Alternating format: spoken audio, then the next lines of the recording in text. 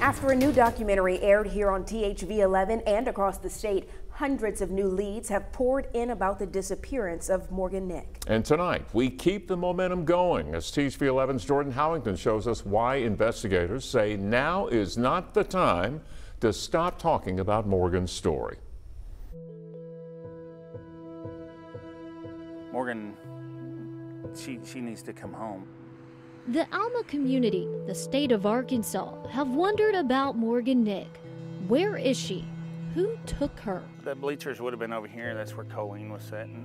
Um, you know, we would actually be standing on the ball field. Morgan disappeared here, now a parking lot, but in June 1995, a Little League baseball field, where Morgan and her mom, Colleen, were cheering on family friends at a late night game.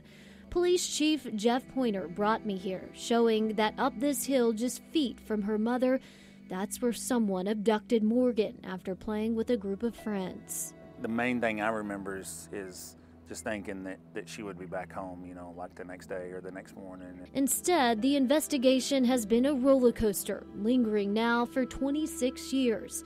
But something new came to the public's attention in the Still Missing Morgan documentary, investigators revealed a red truck with a white camper shell. This is what they now have their eyes set on. Here it is. Alma police say it could be linked to Morgan's disappearance.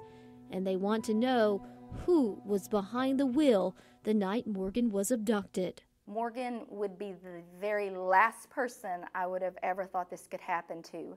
Someone who knew the six year old well, Jerry Emmerich, Morgan's kindergarten teacher. She has her own theories, believing there's no way Morgan knew her abductor, but that's not something police have confirmed. When we went on a field trip, she stayed near me. Um, she wouldn't talk to strangers. She was kind of quiet. She had to get to know you before she really interacted with you a lot. Miss Jerry, as Morgan called her, still can't fathom that night. How does that make you feel as someone who had just taught her? I feel like one of my kids is missing as well, and uh, and I can't imagine what Colleen must must go through.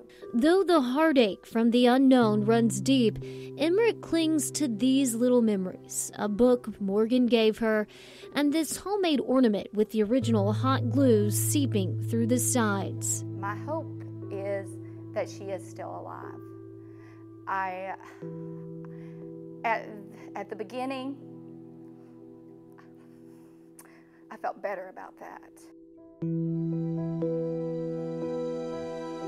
Investigators say with this momentum, people sharing Morgan's story, they believe they'll soon get answers. The exposure the case is getting right now and the type of leads we're getting, uh, we just feel that, that we're close to, to solving the case. Closer than the department has ever been. We're just asking them to pick up the phone and call us. You know, uh, you know, someone has the answers that we need, uh, and we need their help.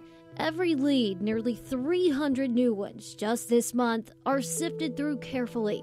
They still need your help. Detectives are missing that one piece to the puzzle, that piece that could change everything for the ones like Miss Jerry who miss Morgan the most. Colleen deserves that. Um, she will keep looking for Morgan until she finds her or until she draws her last breath. What would you say to her?